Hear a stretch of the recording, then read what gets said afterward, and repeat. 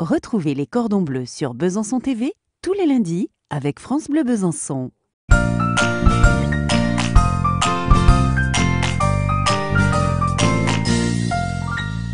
Bonjour à tous. Cette semaine, nous allons réaliser des cremeski de Mont-d'Or dans un lait d'amande au panais. Et pour réaliser cette recette, eh bien, cette semaine, je n'ai pas de producteur, non, non, non, mais j'ai deux invités.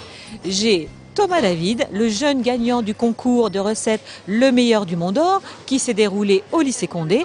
Et j'ai comme invité également Françoise Sanchez, qui est la créatrice du concours. Bonjour, moi c'est Thomas David. J'ai gagné le concours du meilleur de Mont d'Or cette année. J'ai présenté un saumon sauce Mont d'Or, un risotto Mont d'Or et vin jaune, carottes fan glacées et petits oignons glacés, ainsi qu'une salade de mâche avec du breuzy, des noix et une sauce vinaigrette. Je suis très heureux d'être ici aujourd'hui invité à l'émission de Madame Lotchokar pour assister à la réalisation de sa recette sur le Mont d'Or. Le Mont d'Or, un produit que j'adore. Bonjour, je suis Françoise Sanchez Flores, je suis consultante en communication des entreprises et je travaille avec le syndicat interprofessionnel du Mont d'Or depuis trois ans.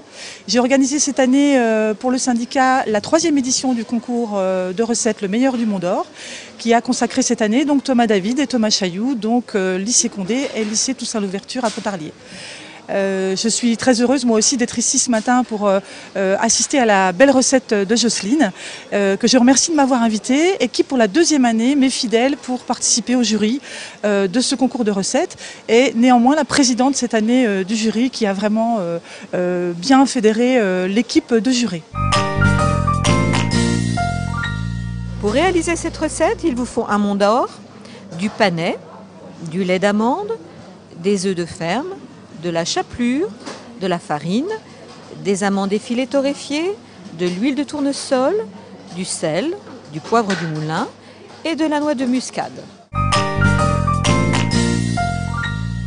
Pour réaliser cette recette, nous allons commencer par enlever la croûte du Mont d'Or et de réaliser des boulettes de 15 grammes environ avec le cœur moelleux du Mont d'Or.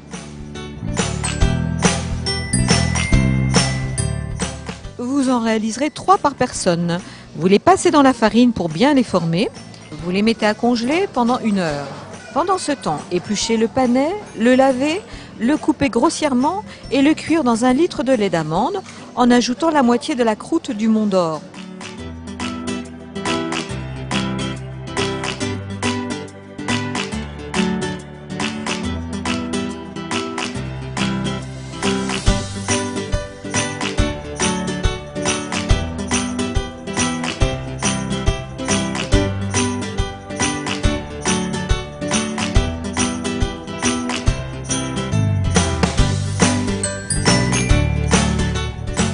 Salez légèrement.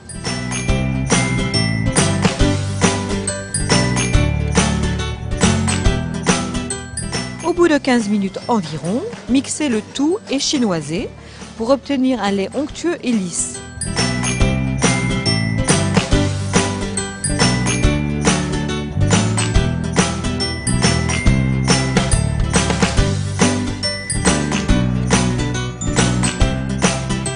Les œufs, les battre légèrement à la fourchette, les poivrer et rouler chaque boulette de Mont d'Or dedans, puis dans la chapelure. Recommencez l'opération une deuxième fois.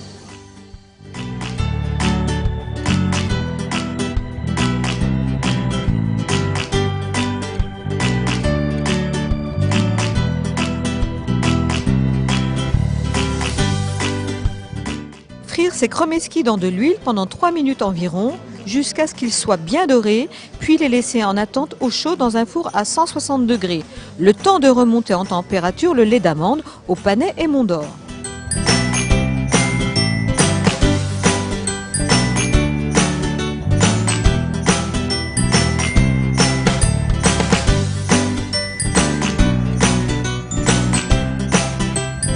Comment dresser?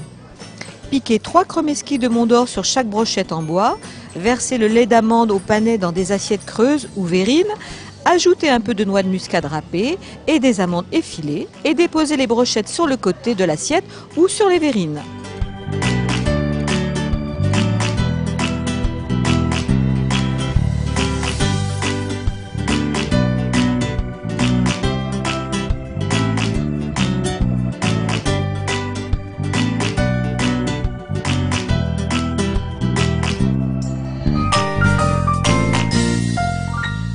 Le petit conseil du chef, surtout prenez bien soin de congeler vos boulettes de Mont d'Or sous peine de voir vos chromeski éclater dans la friture.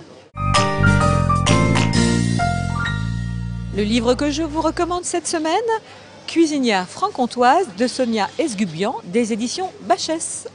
Authenticité gourmandise avec ses recettes de grand-mère qui nous transmettent toute la richesse et l'ingéniosité de notre terroir. Ça sent bon la Franche-Comté rien qu'en le parcourant.